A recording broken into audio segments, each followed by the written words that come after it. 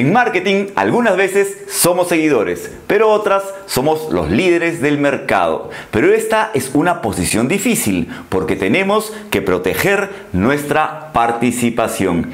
Eso es lo que veremos en la sección hoy. Hola amigos, mi nombre es Anuor y bienvenidos a mi canal. Yo muy contento porque cada vez tenemos más suscriptores. Si aún no te has suscrito, hazlo ahora mismo. Ahora estamos haciendo una serie de videos sobre Kotler, del libro Marketing de Kotler y Armstrong. Y hemos hecho el resumen de los capítulos del 1 al 17. Increíble, ¿no? En videos cortos, de unos 5 minutos aproximadamente.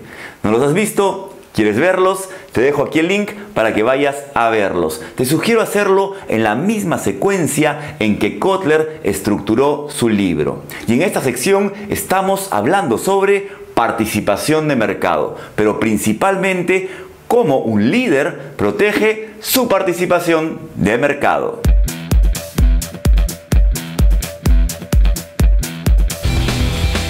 Ser líder no es fácil, es más, es una de las tareas más difíciles para un gerente de marketing y les explico por qué. Porque cuando eres segundo o tercero, tienes al líder adelante, sabes a dónde vas a ir, sabes a dónde vas a atacar. Por menos recursos que tengas, por menor que sea tu presupuesto, igual lo puedes utilizar para hacer un marketing de guerrillas, para morderle el tobillo al gigante. Pero cuando eres líder, ¿qué pasa? Tienes que cuidar todo el mercado, tienes que cuidar diferentes segmentos hasta diferentes zonas geográficas. No sabes por dónde va a venir el siguiente mordisco. Siempre hay un segundo, un tercero o un nuevo en el mercado que te quiere quitar un pedazo de esa participación. Por eso lo que hace el líder es proteger su participación de mercado, para que no vengan otras empresas nuevas y quieran comerse una parte de tu negocio. Hay que estar cuidando cada lugar, viendo cada competidor que esté cerca, aunque sea uno pequeño. Nunca hay que subestimar a un enemigo y mucho más cuando a veces está en silencio por mucho tiempo, como un volcán inactivo.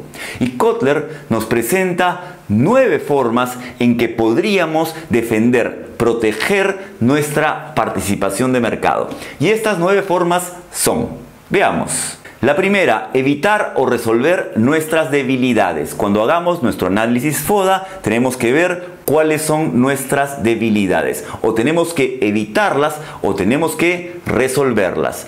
Esa podría ser una puerta de entrada, nuestra debilidad, para que entre un competidor y coma esa parte del mercado. La segunda, cumplir con su promesa de valor. Tenemos una oferta de valor para nuestro mercado meta. ¿Para qué? Para satisfacer necesidades convertidas en deseo.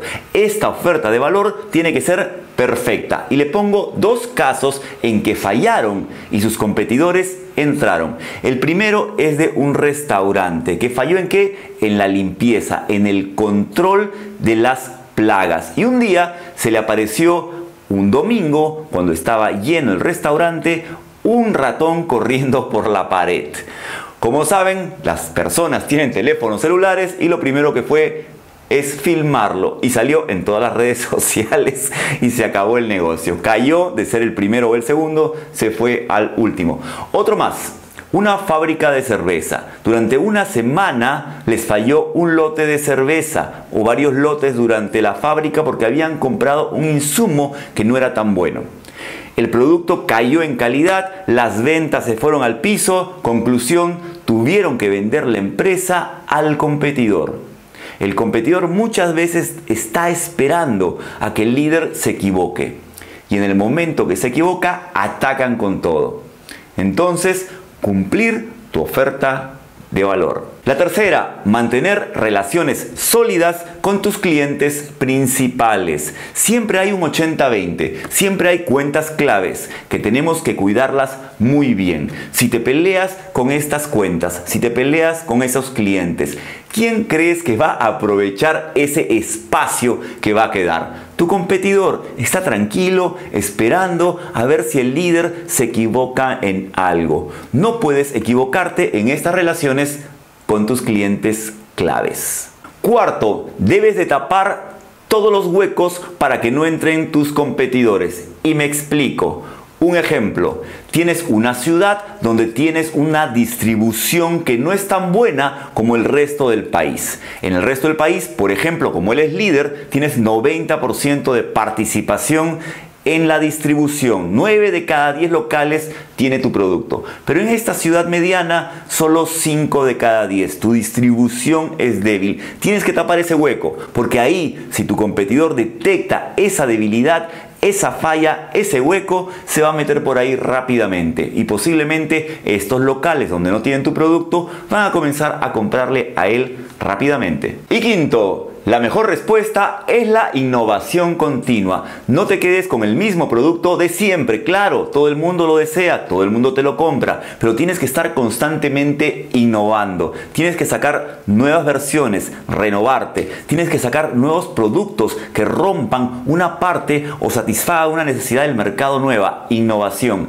Ahí está la clave, seguir adelante. Si quieres ver un caso de innovación, busca un video que hice sobre Gillette. Solo tienes que poner Anuor caso Gillette y vas a ver que Gillette en sus inicios, antes que la compre Procter Gamble, era una empresa innovadora. Ningún segundo podía alcanzarla porque ellos eran el primero y corrían más rápido con innovación continua. Sexto, eficacia en distribución. No puedes dejar de estar en todos los lugares donde debes de estar por más que te cueste caro. Y por eso hablo de eficacia y no de eficiencia. Acuérdate la diferencia. Ser eficaz es llegar. Ser eficiente quiere decir llegar con los mejores recursos. Pero muchas veces cuando tenemos que defender nuestra participación, tenemos que llegar a ese lugar. Así nos cueste más caro. O inclusive algunas veces lo hemos hecho llegando a un costo más alto que el precio de venta, porque no podíamos dejarle ni una puerta a nuestro competidor.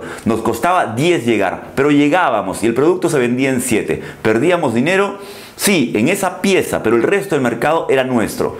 Éramos los líderes, teníamos que cuidar el mercado. No podíamos dejar ningún lugar donde nuestro competidor ponga el pie en la playa para desembarcar. Esto es cuidar tu participación de mercado. Séptimo, eficacia en la promoción. Ya hemos hablado de promociones en los videos anteriores. Aquí tienes que ser muy eficaz. Tienes que contrarrestar o adelantarte en las promociones a tu competidor. Tus promociones tienen que ser precisas y contundentes. No solo hablo de promociones en precios. Ahí tenemos que evitar caer salvo que estemos preparados para una guerra en precios. Las promociones pueden, pueden ser diversas, de diferentes tipos, como ya vimos en los videos anteriores. Pero tienes que ser eficaz. Algunas veces, algunas promociones de bloqueo te van a salir más caras. Posiblemente no vendas más. Posiblemente tengas que invertir un poco más. Por eso tienes que ser eficaz y no siempre eficiente cuando tienes un competidor que avanza. ¿Vas a tener bajas? Claro, como en toda guerra, pero lo importante es sacártelo de encima. Octavo, disminución de costos. Cuando estás en un ambiente competitivo y tienes que defender tu mercado, tienes que disminuir costos. ¿En qué? Negociando bien tus insumos, teniendo procesos eficientes. Cuando hacemos asesorías a algunas empresas, lo primero que nos dicen, quiero innovación. Y yo les digo, quiero ver tus procesos. Porque los procesos de innovación comienzan en las tuercas pequeñas. No puedes innovar un gran producto si tu proceso, la forma en que actúas en el mercado es ineficiente. Un proceso de innovación comienza en la tuerca chica, no en la parte que se ve. Una vez que tienes bien pulido todo tu proceso, puedes comenzar a ver florecer tu jardín.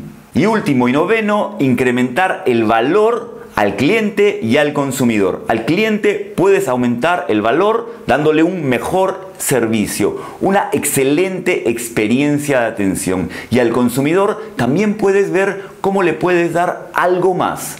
Como tu teléfono celular, si eres fabricante de teléfonos, tiene mejor batería. Si tienes un restaurante, ¿qué les puedes regalar a tus consumidores finales? Si tienes una tienda de ropa, ¿cómo la iluminas? ¿Cómo invitas ese café y esa galleta a las 4 de la tarde? Siempre se puede agregar un poquito más de valor para los clientes y consumidores sin que cueste mucho.